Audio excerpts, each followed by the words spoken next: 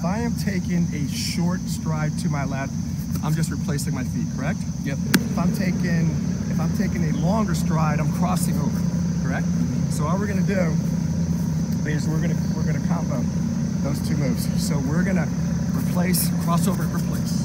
Okay. Go. Here we go. Go. Breaking down. We're maintaining pause.